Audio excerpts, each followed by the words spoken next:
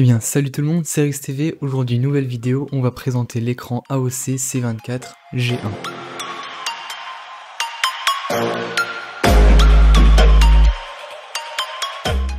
Alors du coup cet écran vous le connaissez sûrement parce qu'il est très connu en tant qu'écran qui a un bon rapport qualité-prix.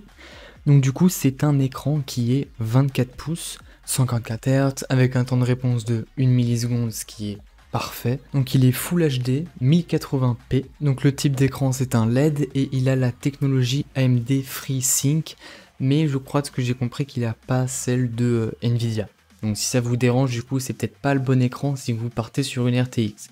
En tout cas sur les RX de chez AMD, c'est parfait. Donc de toute façon depuis le début je vous passe quelques plans, l'écran est juste derrière moi parce que c'est devenu mon écran principal tout simplement. Ok, et donc du coup 24 pouces c'est vraiment la taille euh, parfaite pour tout ce qui est gaming, jeu, même montage. Si vous voulez plus grand, vous pouvez.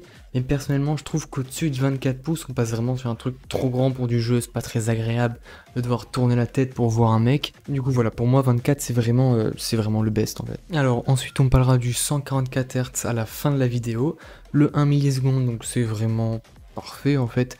De toute façon, vous verrez pas vraiment la différence, ça va dépendre de beaucoup de choses, de tous vos périphériques en fait, de l'écran certes, de votre PC, de votre jeu, de votre connexion, de votre clavier, de votre souris, ça dépend de plein plein de trucs, les temps de réponse, donc 1 euh, milliseconde c'est très très bien. Ensuite l'écran c'est possible de le régler en hauteur, mais c'est pas possible par contre de le tourner, par exemple pour le mettre à la verticale, ce que je trouve est assez dommage, surtout qu'ils proposent ça sur euh, certains de leurs modèles même plus bas de gamme, sur les 75 Hz, de pouvoir euh, le tourner, mettre à la verticale pour mettre le chat, peu importe, et là on peut pas, on peut seulement le monter ou le descendre. C'est pas trop grave, mais c'est quand même euh, un petit peu chiant. Aussi, j'ai pas précisé, mais vous avez dû le remarquer, l'écran est incurvé, donc j'ai pas exactement l'incurvation, je pense pas que ça se dit, mais euh, il est un petit peu incurvé, je trouve ça plutôt agréable pour le jeu, tout ça. C'est pas le truc le plus utile, mais bon, c'est toujours cool que l'écran soit, soit incurvé. Alors, ensuite, j'ai testé le fameux 144 Hz.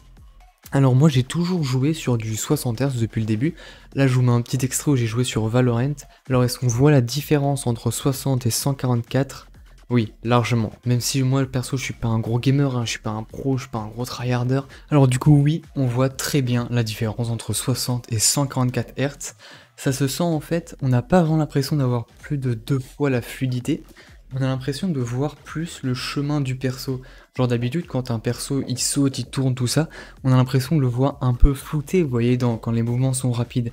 Et ben là, du coup, quand les mouvements sont rapides, vu qu'on a plus d'images par seconde grâce au taux de rafraîchissement qui est plus haut, et ben du coup, on a l'impression de voir plus le personnage dans son mouvement, le voir moins flouté, et du coup d'avoir beaucoup plus d'infos. Après, est-ce que ça a une si grande utilité?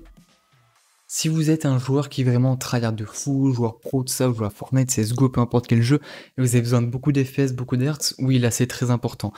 Après, dans mon cas, ça l'est un petit peu moins, c'est plutôt plaisant sur la plupart des jeux, hein, mais... Et par contre, j'avoue que oui, si vous avez un PC qui tourne quasiment tous les jeux à 144 FPS, oui, ça vaut quand même le coup d'investir dans un bon écran qui a au moins 144 Hz en fréquence de rafraîchissement. Donc voilà, du coup j'ai rien à dire de plus, cet écran est vraiment génial, surtout pour à peine 200 euros, 144 Hz, ce genre de spec, l'écran est vraiment quali, les matériaux sont très cool, l'affichage, la qualité, tout, enfin Vraiment, je le trouve très complet et pour un prix très bon. Du coup, si vous êtes intéressé par cet écran, le lien pour l'acheter est dans la description. J'espère que cette vidéo vous a plu, vous a intéressé, vous a aidé si vous souhaitiez acheter du coup euh, cet écran. Et on se retrouve très prochainement pour une nouvelle vidéo.